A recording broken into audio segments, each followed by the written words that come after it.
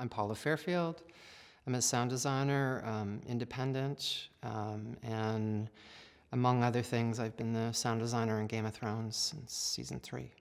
Well, my background is actually as an artist. I went to art school, and um, I did not go to film school. I did not go to recording school. I, there was no sound or film program at the school I went to. It was a, um, Nova Scotia College of Art and Design, and at the time, one of the most radical art schools in the world. So I got a schooling in all kinds of things, but none of it sound. However, as my summer job, uh, I was uh, an intern and an apprentice at the National Film Board of Canada. And I apprenticed to a, a picture and sound editor.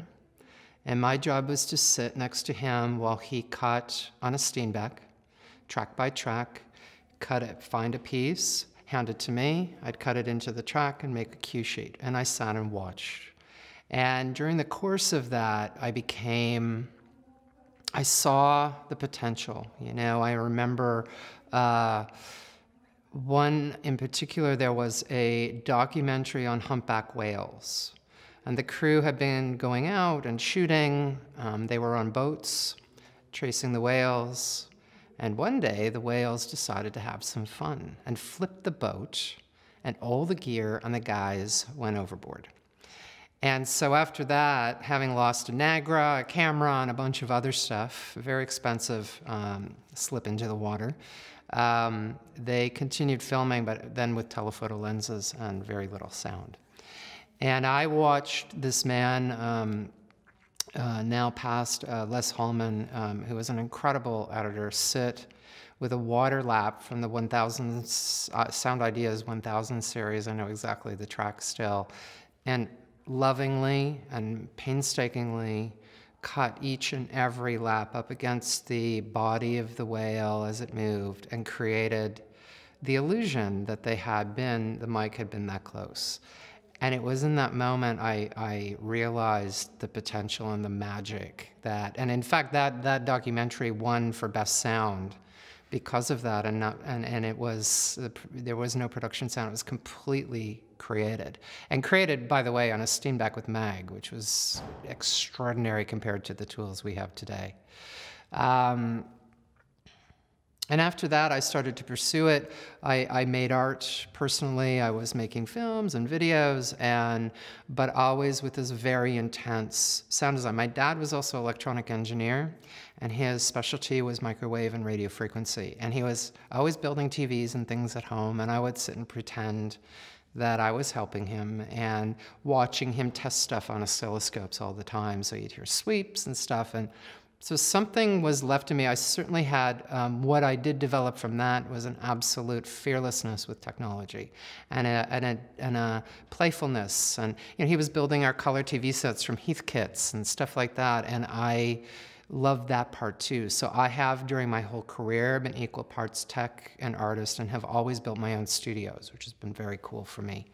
Um, which has allowed me to now live in the desert alone with no tech support anywhere because it's my, and nobody could really help me because it's very idiosyncratic to how I work. The reason why I think sound is, is, you know, we live in a very visually dominant world and, and a very sonically illiterate one also.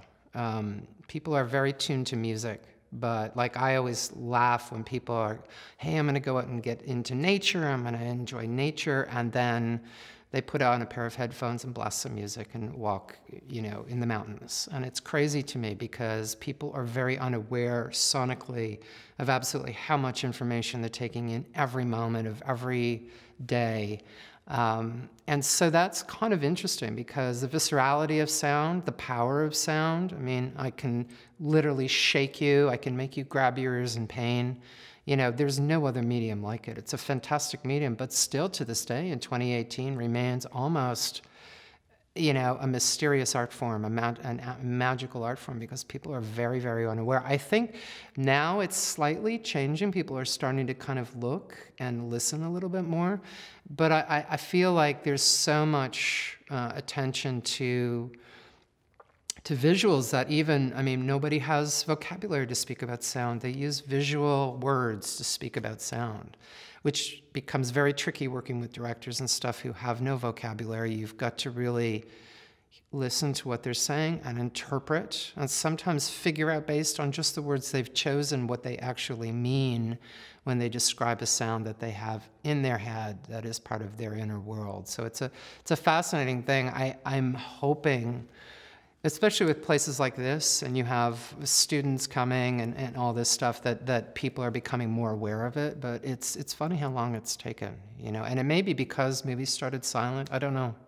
But um, uh, I'm excited to see. I think the next, we're on the brink of a lot of change in the sound world. I think it's going to be very exciting next few years because there is, with VR in particular, now starting to feel, um, you know, creating these worlds. Um, you know, people are starting to realize how important sound and the viscerality and the texturing of sound is to complete the vision, you know, to complete that experience. Well, sound design and sound effects and Foley, they're all very interconnected. Um, they're all part of the same world. Music is another beast, and it's very tricky. And, and I always say the ultimate battle of fire and ice is between music and sound, you know, because we occupy the same field, we occupy the same territory, you know, it's all sonic. And they have to live together. And, and unfortunately, in a battle of sound and music, usually sound loses. Um, music, because again, people are more comfortable with music. People are more comfortable with the kind of emotive characters of music and, and overlook the possibilities for emotive expression through sound. Um, so what that means is that um, what sound designers learn as you know they go through the process of having their music their sound design obliterated by a music cue that is strong uh, you learn um, survival tactics if you want your work to be heard. And part of that is choosing different frequencies, a range of frequencies. So if, if, because if you put all your sonic design, for instance, in the, in the lower frequency range, and you got a big thumping or, you know, low end music, because everybody likes the low end, um, the music will steamroll the sound and it's gone. And also, because we have so many formats, remember, I mean, we have a show like Game of Thrones, for instance, which is constantly being downloaded and played on iPads and iPhones and headphones and whatever, and, and rarely even seen in a theater, although sometimes, right? Um, in order for your story that you're telling with sound to live in those less than lovely, favorable audio formats, you have to um, come up with um, a design that lives in a number of frequency ranges that will live on depending whatever you know whatever else happens um, with music or dialogue or whatever. Um, so it's it's something that only experience really will teach you as you work more and more with you know the integration of all the elements but it's a very important one to learn. And and again i think sometimes people give up you know? It's like they come up with some groovy sound design that's all low end and the music comes in and it's gone.